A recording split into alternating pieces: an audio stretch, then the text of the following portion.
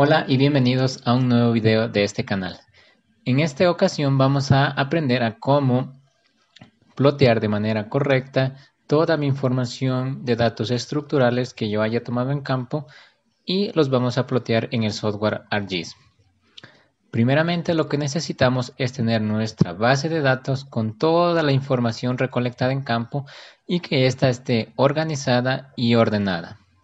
Esto quiere decir que por cada por cada atributo que yo tenga le voy a colocar una columna, así como lo he hecho yo.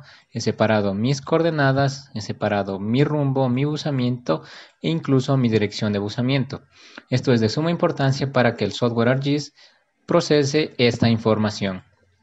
Además de esto, esta data estructural está tomada de acuerdo a la ley de la mano derecha, que también es de suma importancia para que no haya ningún error al momento de plotear la información en el software.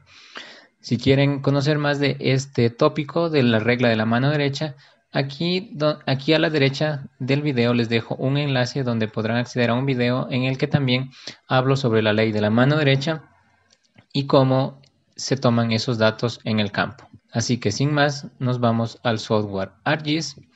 En este caso lo que necesitamos es importar nuestra data, así que nos vamos en añadir información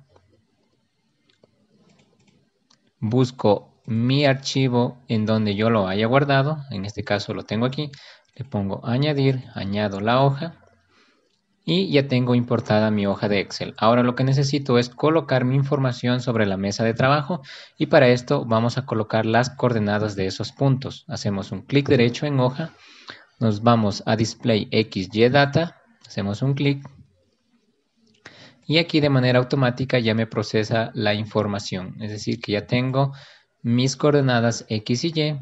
El sistema de coordenadas, como es un ejemplo, lo voy a dejar como un sistema de coordenadas desconocido.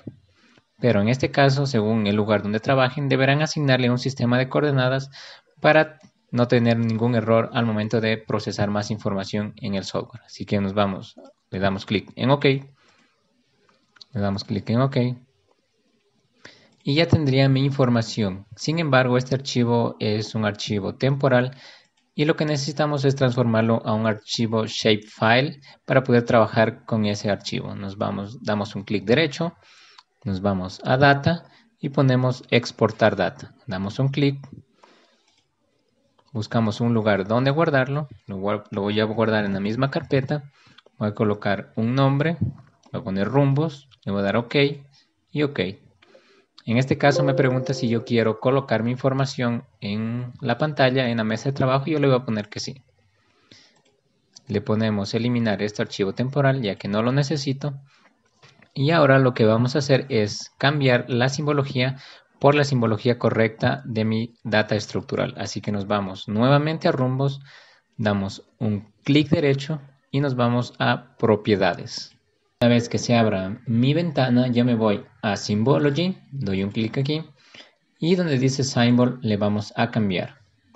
Primeramente necesitamos la simbología para geología, así que nos vamos a Style Reference y nos cercioramos que esté activado Geology 24K. Damos OK, en este caso ya ha estado activado.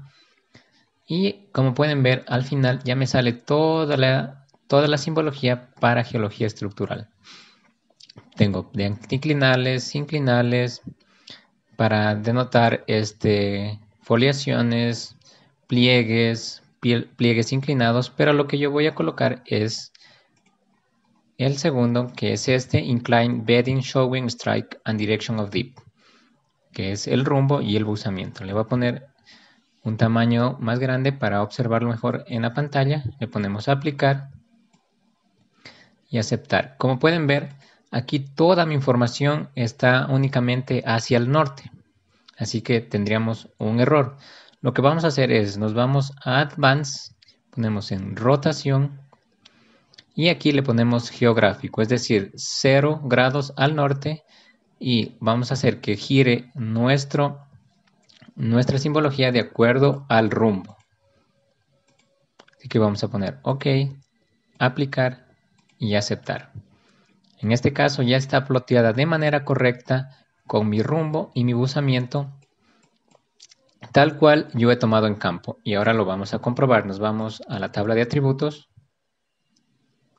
como por ejemplo este punto, el punto 8, que me dice que tiene un rumbo de 256 grados con un buzamiento de 75 al noroeste. Estaría correcto.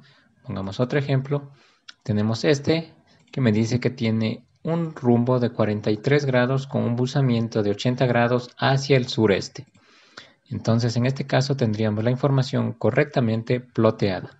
Lo siguiente que vamos a hacer es añadirle la data del buzamiento. Así que nos vamos nuevamente a rumbos, colocamos propiedades y nos vamos a la pestaña Labels. Una vez que se abra mi pestaña Labels, voy a seleccionar Label Filters in this layer, vamos a hacer un clic y aquí en Level Fill vamos a colocar nuestro, o en Label Fill vamos a colocar nuestro buzamiento. Le podemos colocar un tamaño de la letra, le voy a poner un 7 y nos vamos a Placement Properties. En este caso yo también voy a poner que mi buzamiento esté de acuerdo al rumbo o al ángulo que yo he puesto aquí. Así que nos vamos, hacemos un clic en Place Label at an angle specified by a field. Colocamos Rotation Field. Y le vamos a poner también que mi buzamiento esté concorde al rumbo. Pues hacemos un clic aquí y le ponemos en geográfico nuevamente. Damos OK. Y en este caso también vamos a colocar en Conflict Detection. Vamos a colocar este, vamos a seleccionar Place Overlapping Labels que es para impedir que se borren cualquier información que esté sobrepuesta. Es decir, cuando hay estructuras muy cercanas, al colocar estas etiquetas, si no se coloca esto, tienden a borrarse alguna información. Así que con esto nos evitamos eso. Ponemos OK, aplicar y aceptar. Bien, ya tenemos nuestra información también de los buzamientos, pero en este caso también hay otro pequeño error que por lo general en geología el buzamiento lo colocamos de acuerdo a la dirección de buzamiento, valga la redundancia, es decir, de acuerdo a esta línea que tenemos aquí que sería del buzamiento, para lo cual vamos a hacer un pequeño artificio, nos vamos a rumbos, nuevamente colocamos propiedades, abierto nuevamente, nos vamos a ir a Label Styles, hacemos un clic nos vamos nuevamente a propiedades y colocamos Symbol Properties. Hacemos un clic. Es que se nos abra nuevamente otra ventana, nos vamos a Edit Symbol. Una vez que abramos esta nueva pestaña, vamos a señalar en vertical, alineación vertical en inferior y también en alineación horizontal en full. Y aquí en ángulo vamos a colocar 90 grados para que esté concorde al rumbo que yo he puesto. Nos ponemos OK, OK, aplicar, aceptar, OK, aplicar y aceptar.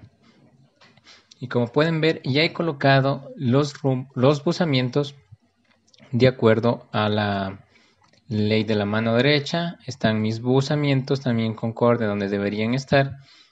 Y bueno, este ha sido el video sobre cómo plotear datos estructurales en el software ArcGIS. Espero que les haya gustado el video y si les gustó denle like y suscríbanse. Cualquier comentario, por favor déjenlo en la caja de comentarios. Adicionalmente a esto, en la descripción del video he dejado la data que, con la que yo he trabajado en este video para que puedan ustedes descargarla y también practicarla. Muy bien, nos vemos en un próximo video. Gracias.